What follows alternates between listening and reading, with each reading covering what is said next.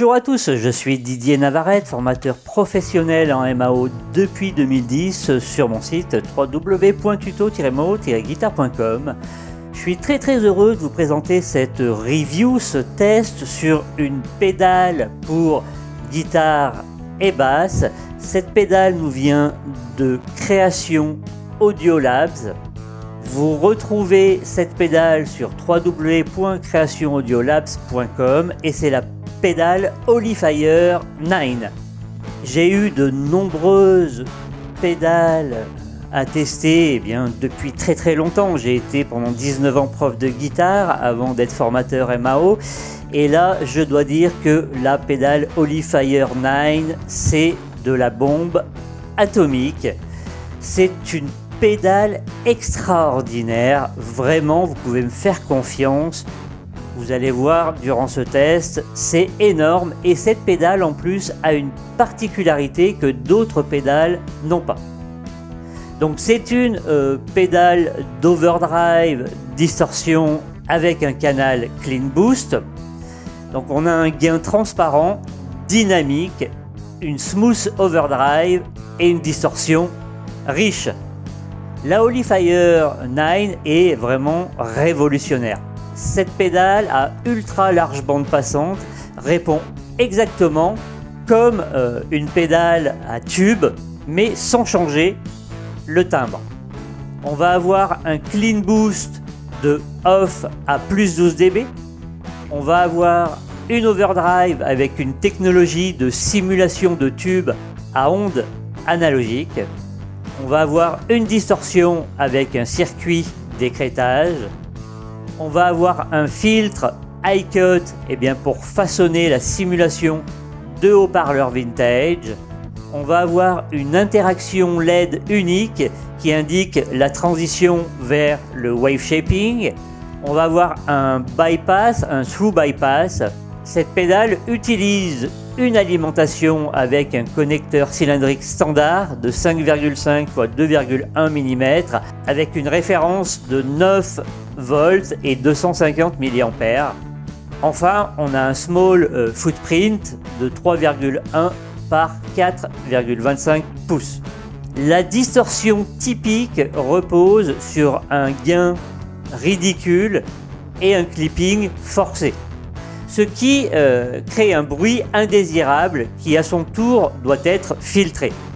Et cela rend le timbre nasal. Eh bien, la Holyfire 9 utilise des circuits exclusifs de mise en forme des ondes pour vous donner tout le crunch tubes. Et pas de bruit ajouté. Cela fait de la distorsion overdrive Holyfire 9 une pédale très musicale qui répond à votre toucher. Jouez avec une attaque et une vélocité plus douce pour un son plus clair ou creusez pour obtenir autant de grains que vous le souhaitez. Vous contrôlez l'effet avec votre dynamique de jeu et le volume de votre instrument. Cette pédale est comme un préampli à lampe mais euh, sans les tubes et transformateurs volumineux, fragiles et coûteux.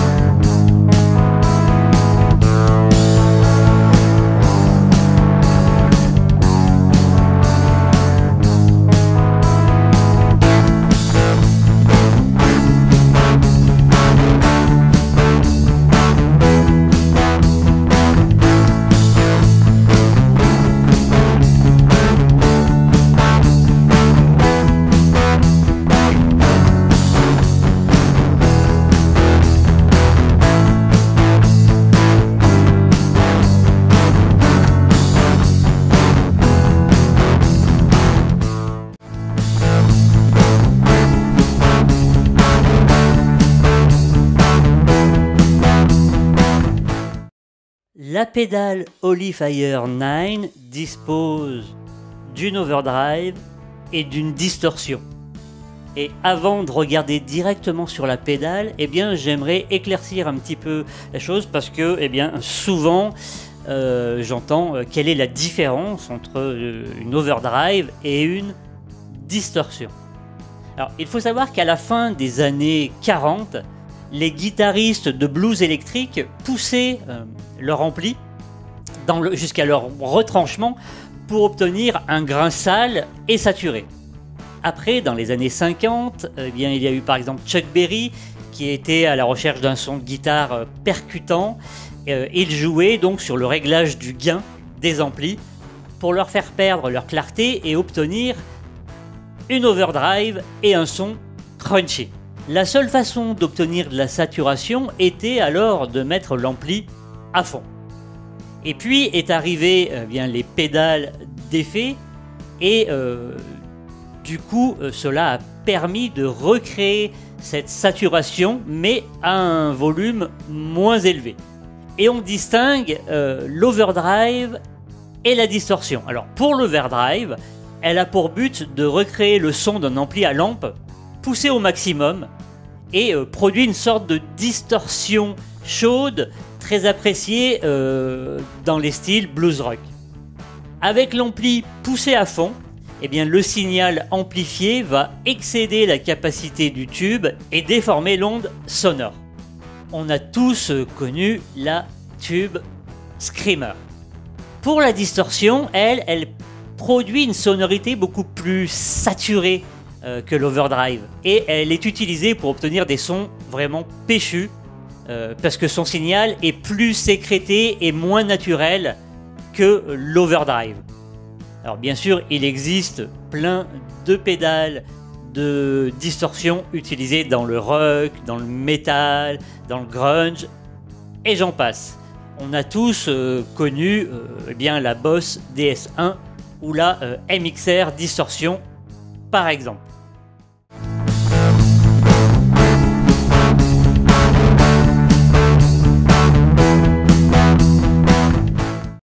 Commençons avec le G pour gain. Et quand on est aux alentours des 14 heures ici, en réglage, eh bien, on devrait avoir un signal transparent. Et effectivement, là, la pédale, je l'enclenche. Là, je ne l'enclenche plus, je la bypass. Donc, avec le bypass, on a ça.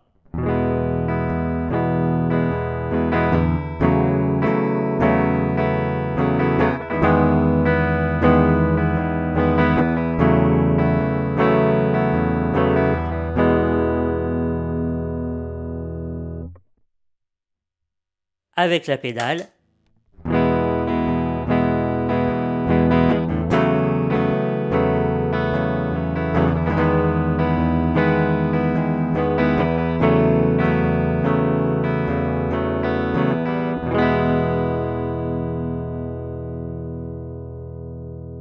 C'est complètement transparent. Ce gain va bien entendu nous servir à réguler le volume sonore quand nous allons utiliser l'overdrive ou la distorsion ou les deux.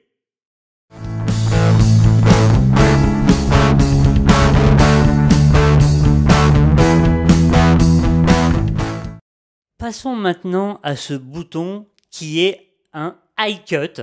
Alors high cut, ça veut dire coupe haut, c'est-à-dire que quand il est au maximum, eh bien, on va avoir toutes nos fréquences et on va pouvoir, en allant sur la gauche, filtrer les aigus et les supprimer jusqu'à obtenir un timbre bien plus sourd complètement à gauche. Testons complètement à droite.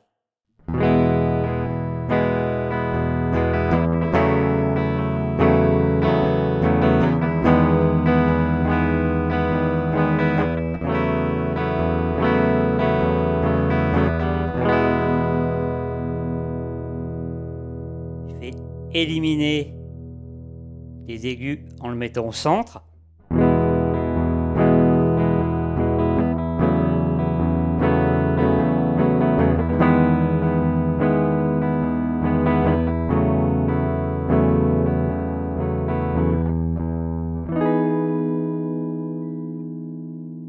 Et je peux en éliminer encore plus, complètement à gauche.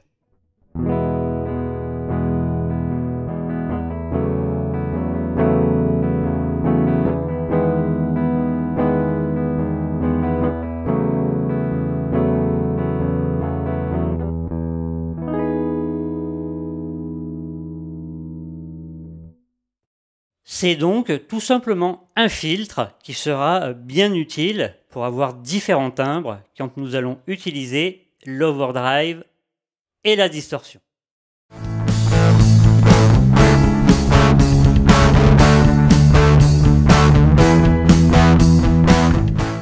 Passons maintenant à l'overdrive, donc qui va ajouter de l'overdrive à notre son et vous allez voir, alors je vais le mettre au centre et je vais réduire un peu mon gain.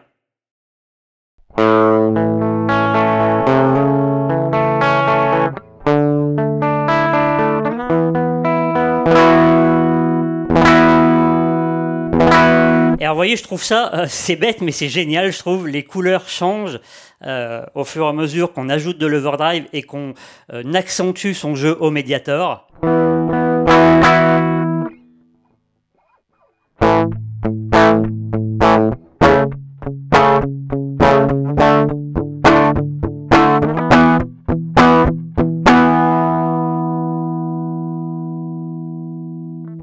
Là, je suis au niveau de mon volume de la guitare à 10. Que se passe-t-il si je réduis le volume de ma guitare? Eh bien, regardez bien. J'ai un son qui est presque comme si je n'avais pas la pédale. Il y a un léger rajout de gain, donc je vais le baisser. Il y a un léger rajout de gain, je peux baisser le volume encore de ma guitare.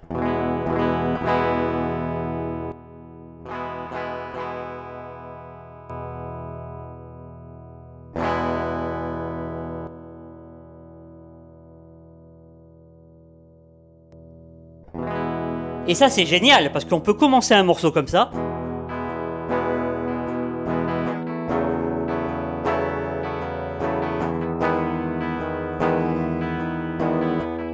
Et puis, j'augmente mon volume. Et là, c'est plus pareil.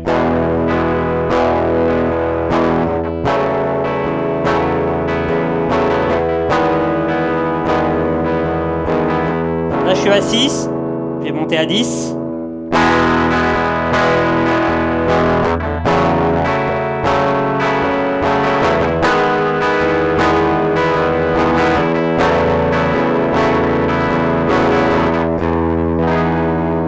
Eh bien, c'est comme je vous le disais, euh, ça va dépendre du jeu du guitariste sur l'instrument, donc au niveau des attaques, par exemple du médiator. Si je joue quelque chose d'assez doux, euh, au niveau médiator de la main droite. Et plus j'accentue, plus l'overdrive va arriver. Ou je peux jouer avec mon volume, donc là à 10.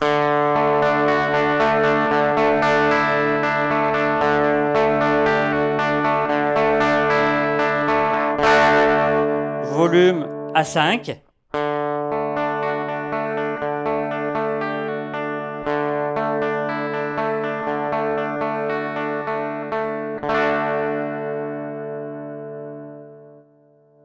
Volume à 2, 3.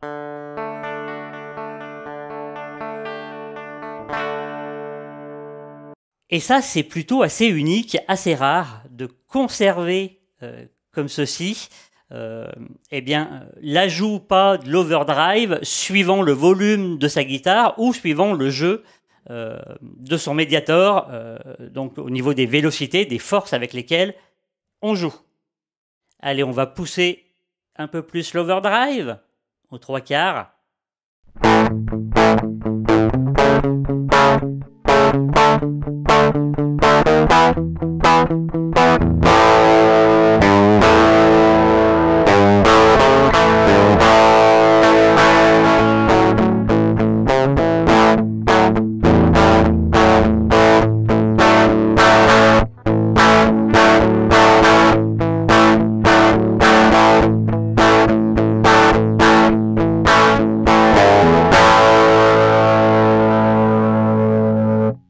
Pousser encore un peu plus. au maximum.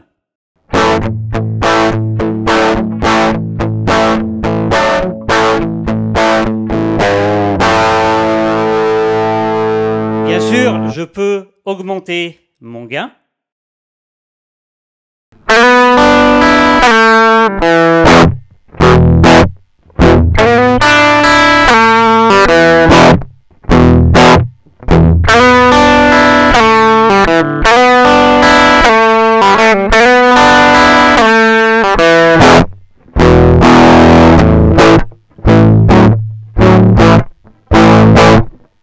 Comme l'on dit, ça sonne grave, hein, je vous l'avais dit. Et alors je peux maintenant jouer à réduire les hautes fréquences, ici, les aigus, les harmoniques aigus.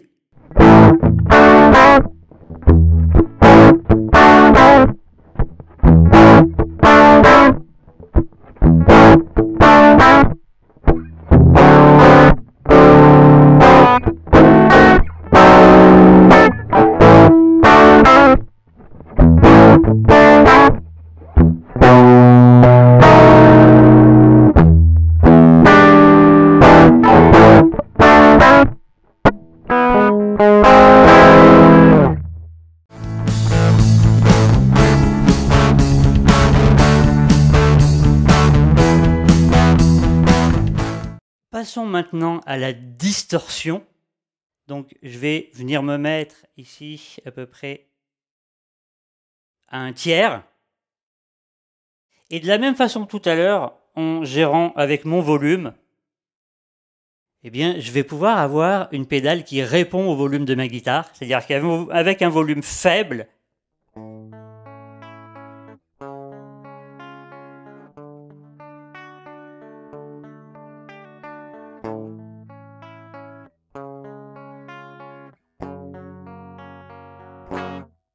J'augmente un peu le volume.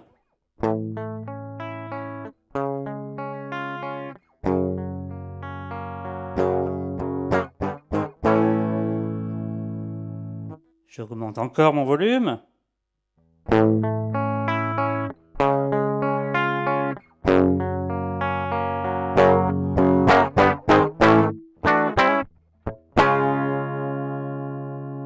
J'augmente encore.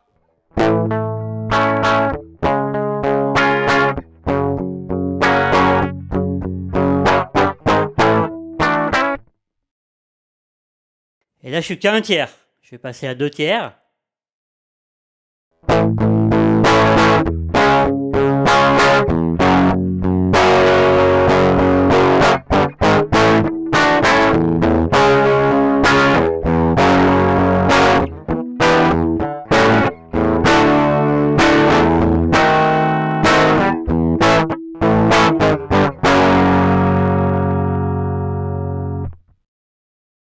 Poussons la bête au maximum.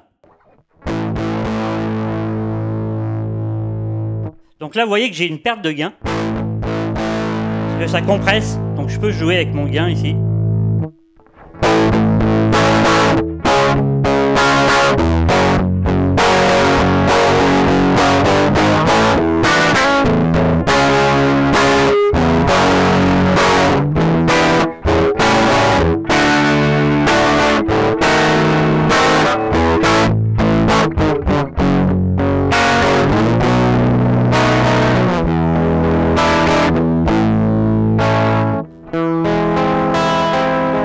Mon volume.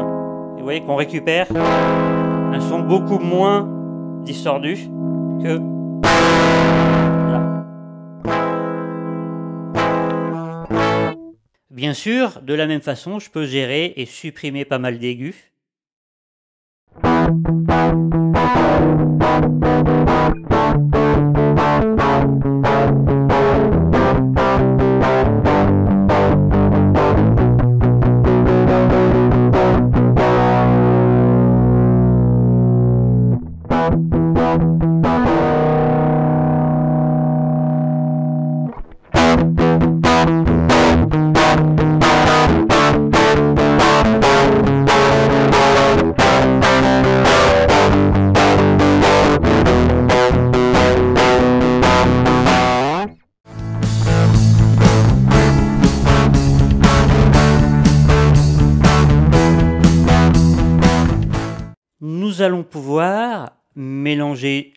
L'overdrive et la distorsion. Alors là, attention au gain quand même, parce que c'est très puissant.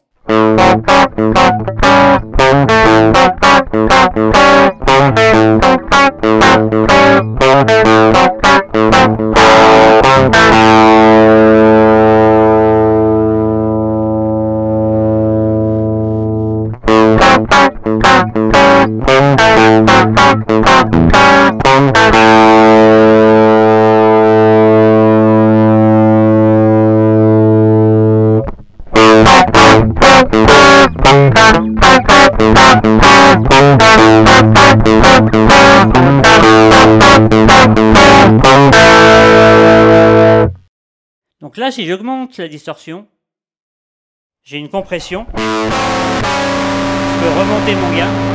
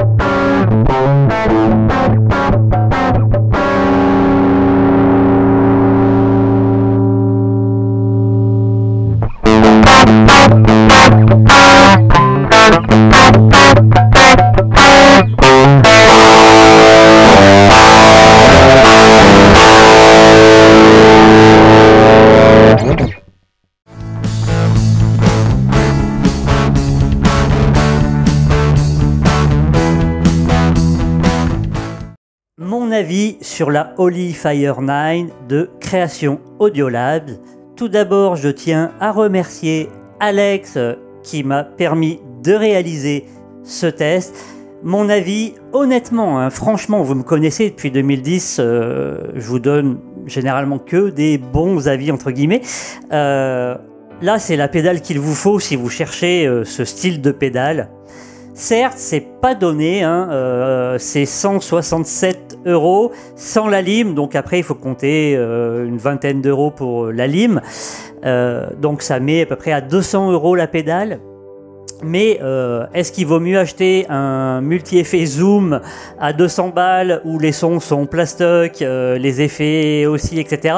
Ou investir euh, dans quelque chose de sérieux, de lourd qui sonne mais d'enfer. Moi j'ai été halluciné et par sa particularité hein, que quand on joue avec le volume, je vous garantis à faible volume, eh bien on dose, on n'entend presque pas l'overdrive ou la distorsion et plus on va monter en volume, plus euh, ça va opérer et ça c'est vraiment euh, assez unique. J'ai eu pas mal de pédales à tester euh, depuis de très nombreuses années et là c'est la première fois que ça me fait ça. Me fait ça. Donc je vous conseille fortement cette pédale, vous ne serez pas du tout déçu. La construction est top, c'est solide, c'est beau. Euh, enfin, quand on aime finition métal comme ça un peu brossé, les lumières qui s'allument euh, quand on pousse un peu, euh, c'est tout simplement une pédale géniale. Notez bien, Fire 9 de chez Création Audiolabs. Je vous donne rendez-vous à bientôt, bye bye